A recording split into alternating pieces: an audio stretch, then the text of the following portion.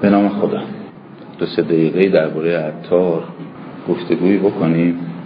نمیشه از عرفان عرفان ایرانی یا عرفان اسلامی هر اسمی روش می‌ذارید. شما سخن بگید و از عطار صحبت نشه. جایگاهشون جایگاه خاصیه جایگاهی پیشواست جایگاهی معلمیه که پایگذاری کرده سبکی رو و مکتبی رو. به قول خود جناب مولانا عطار روح بود و سنایی و چشم او ما از پی سنایی و عطار آمدیم. اونجوری که توی داستان ها اومده حالا اینکه این داستان چقدر واقعیت داشته باشه جای تشکیک داره. ما به قطع نمی‌تونیم بگیم که درسته. اما ظاهرا در دوره‌ای که مولانا به همراه پدرش و به همراه خانوادهش در حال مهاجرت بودن از بلخ به سمت قونیه یعنی سفری که در واقع به قونیه ختم شد چون سر راه به مکه رفتن اونجا زیارت کردند شهرهای مختلف رو دیدن با آدمای مختلف توی مسیر گفتگو کردند و آشنا شدن. یکی از ایستگاه هایی که به قول معروف مولانا یه جوان مولانای نوجوان براش جزو ایستگاه خیلی مهم بود. ظاهرا ایستگاهی بود که با عطار که یک پیر کاملی بود آشنا شد و این تأثیر ظاهرا خیلی در عمق وجود مولانا باقی میمونه. اون چه که توی تاریخ نوشته شده اینه که عطار به پدر مولانا گفت که دیری نمیگذره که این نوجوان آتش به جان سوختگان عالم می‌زنه. و نسخه از کتاب اسرارنامه خودش رو به مولانا داد. و این تأثیر مهم از اونجا شروع شد که البته خب به قول حافظ میگه که ای صوفی شرابان گه شود صاف که در شیشه بماند اربعینی. مولانا برای اینکه اون مراحل پختگی رو پشت سر بذاره و اون پیر کامل تبدیل بشه حدود چهل سال زمان لازم بود. لازم بود که این مراحل رو بگذرونه مراحل خامی رو پشت سر بذاره و در نهایت تبدیل بشه به کسی که به عنوان یک عارف کامل بعد از گذر 700 سال چنان عمقی داره کلامش که امروز هم لرزه بر اندام هر آدمی که اهل فکر و اندیشه است میندازه. این جناب عطار البته همیشه همینجوری بوده. تاریخ ما شرقی ها مخصوصا اینجوریه که یک حاله ای از تقدس یک حاله حتی از خرافات اطراف شخصیت های مهم ما وجود داره. در مورد مولانا هم همینجوره داستان گفته شده که خیلی از این داستان ها صحت نداره و به لحاظ تاریخی تایید نمیشه. ولی در زبان مردم عامی این داستان ها گفته شده و شاید خیلی از چیزها رو خیلی از در واقع آثار رو خیلی از افراد برجسته رو همین داستانهای به ظاهر خرافی حفظ کرده. در مورد عطار هم همینطوره. در مورد عطار هم داستانهای زیادی گفته شده. داستان تحول حال عطار که ظاهرا اینجوری گفته شده که عطار خب عطار بود. در واقع پزشک بود.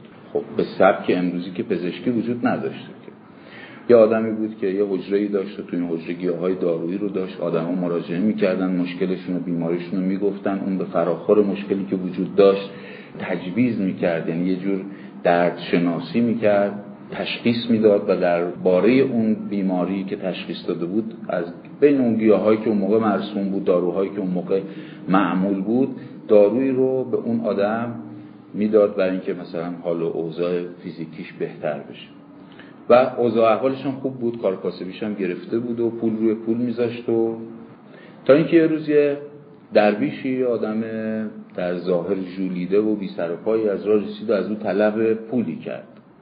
مثلا عطای مبلغی پول بهش داد. بعد دوباره فردا اومد گفت پول به من بده. گفتش که آقا من همه دیروز به تو پول دادم. چه خبره اینا؟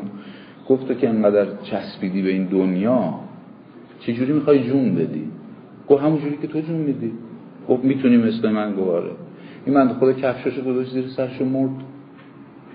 و در واقع این آدم با این مردن خودش این آدم رو تکونش داد و تغییرش داد و دنیایی رو تکون داد. چرا که بعد از این حرکتی که روی عطار اتفاق افتاد این تغییر حالی که در عطار اتفاق افتاد آدم های بعدی که اومدن متحول شدند و مثل دونه ای که کاشته میشه این دونه گیاهی تبدیل میشه اون گیاه بذرهای زیادی رو تولید می‌کنه این پراکنده میشن و به صورت تصاعدی اون حرکت اون اندیشه شروع می‌کنه به تکثیر شدن.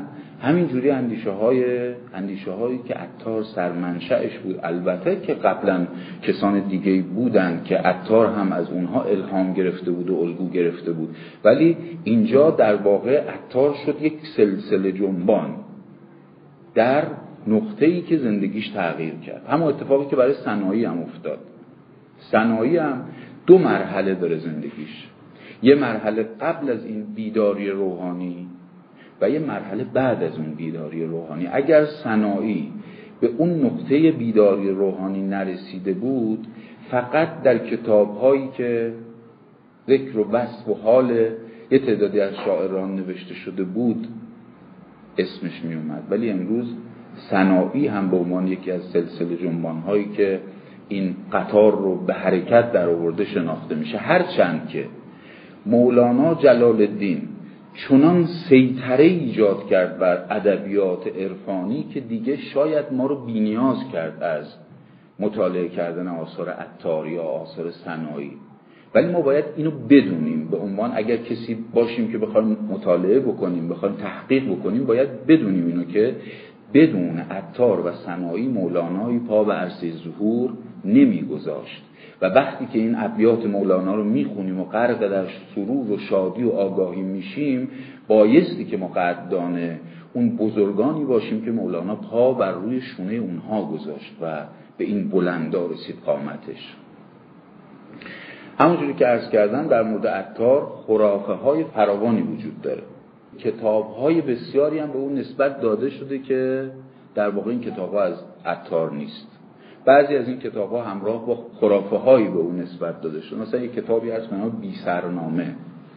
داستان مرگ عطار مرگی شهادت گونه است که ظاهرا در حمله مغول مغول ها عطار رو کشتن یا شهید کردن داستان ظاهرا اینجوریه که یکی از مغول ها عطار رو اسیر کرده بود و به بازار که بفروشه قافل از اینکه چه گوهری تو دستشه به عنوان یه برده یه برده که خب ظاهرا برده به درد بخوری هم نبود چون هم پیر بود هم بالاخره آدمی که اهل ریاضت نحیف ضعیف اونجوری چابوکی های یک برده قبراق رو نداشت به هر صورت.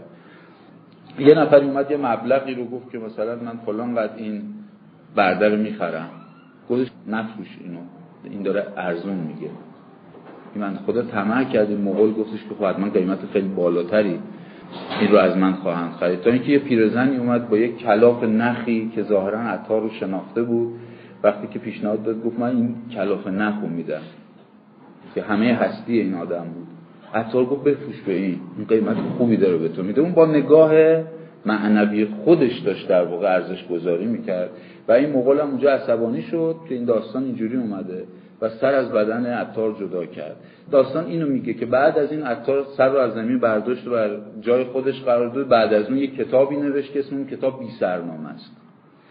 اگر کسی خواست که در مورد عطار مطالعه بکنه با تغییر پورنامداریان بسیار آثار ارزشمندی در مورد عطار دارند و جناب شفیه کتکنی که من یه نسخه از کتاب تصحیح منطق و تیر جناب عطار نیشابوری رو اینجا دارم که جناب شفیع کتکنی ویژگی که کارشون داره اینه که مقدماتی که برای کتاب می نویسن بسیار خواندنی است.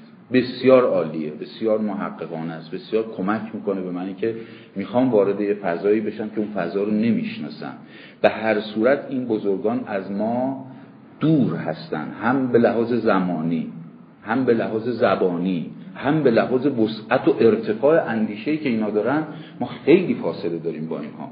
بنابراین نیاز هست به اینکه مقدماتی رو آماده بکنیم که بتونیم وارد اون حوزه‌ای بشیم که اونها در اون حوزه قرار دارن.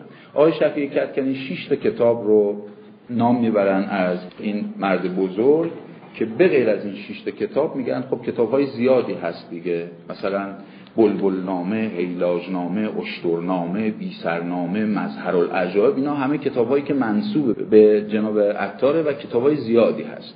ایشون میگن که شش تا کتاب بر اساس تحقیقاتی که شده البته تحقیقات فقط استاد شفیعی هم نیست. شش تا کتابی که انتصابش به عطار قطعیه. منطق الطی اسرارنامه الهینامه مختارنامه تذکرت الاولیا و دیوان غزلیات. یه دیوان غزلیات مفصلی هم داره جناب که غزلیات بسیار شورانگیز و ای هست توی این کتاب.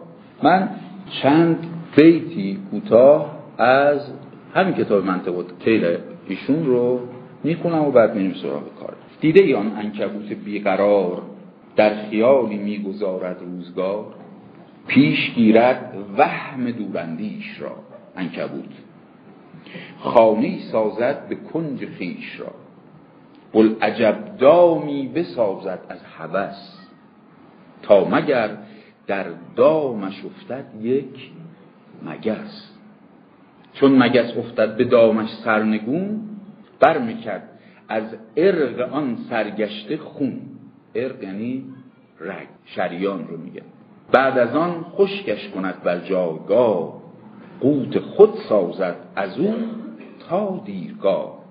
ناگهی باشد که آن صاحب سرای صاحب خونه چوب اندر دست استاده به پا. خانه آن انکبوت و آن مگس مثل این خانمهایی که گردگیری می‌کنن با جاروی چیزی.